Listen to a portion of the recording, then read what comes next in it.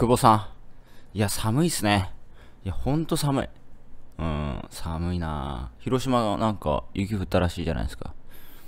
で、まあ、久保さんとのやね、お付き合いもね、もう本当に、長いですね 長いようで短い、短いようで長いというところで、まあ今回は、うーん、何にしようかな。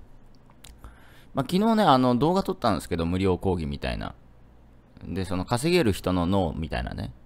そう。まあ、久保さんが、まあ、なんで、その、まあ、久保哲郎の秘密とかにしとこうかな。まあ、久保さんがなんで麻雀店からね、あその、ネット始めてね。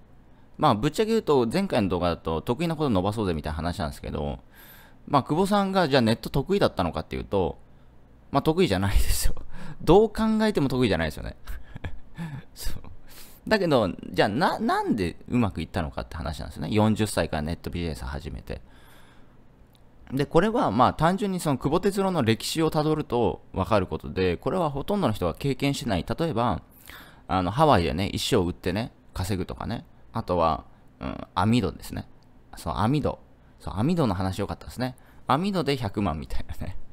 まあ、ああいう考え方だったりとか、ああいうことを体験、まあ、あと刑務所とかね、なんかその他の人が体験してないようなことを体験したりとか、あとはそのビジネス、麻雀店の経営はうまくいってないけれども、考え方のベースですよね。要は、ただそのフィールドがちょっと違っただけであって、うん、フィールドがあったっていう話ですね。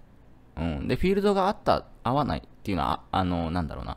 それは何かっていうと、その、なんだろうな。うん、他のさら、普通の人の考え方ではなかったって話ですね。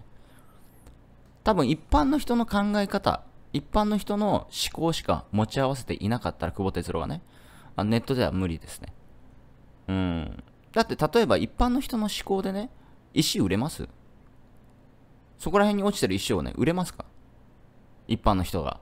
多分売れないんですよ。でも久保さんは売れるんですね。うん。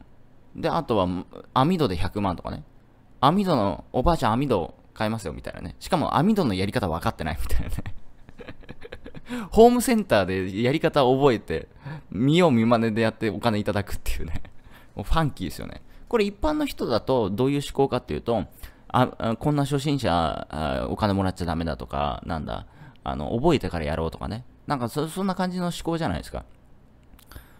まあ、久保さんはその、なんだ、そういう時代からネットやる前からそういうなんことをやってたっていうことですね。うん、だから、あの、他の人と一緒なんだけど、一緒じゃないみたいな。うん、まあ、その40歳のおじさんっていうところは、まあ今48になりましたけど、まあそこは年齢は変わらないし、その、じゃあ見た目格好もね、変わんないわけじゃないですか。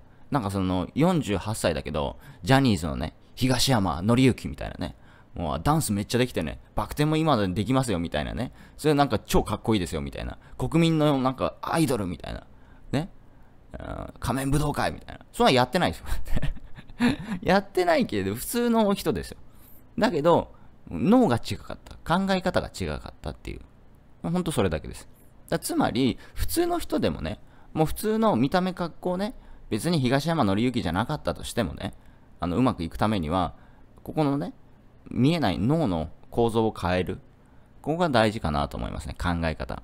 うん。で、億万長者合宿でもね、ずっとやれやれ言うてますけど、やれない理由って何ですかって話で、考え方が一般的な考え方なんですよね。例えば、今から YouTube やったら遅いとかね。今から YouTube やったら旨味がないとか。今からもう芸能人が入ってるから YouTube で成功するのは難しいよっていうのが一般的な考え方ですよね。で、その考え方だとうまくいかないんですよ。うん。だって一般、だって一般の、うまくいかないというか、一般の普通の生活ですよね。だから久保さんとか僕みたいに異常な生活したいんだったら異常な考え方ですよね。異常な考え方。異常な考え方。あ、これでいいんじゃないですか？異常な考え方みたいなね。はい、久保哲郎の成功の秘密、かっこ異常な考え方。いってらっしゃい。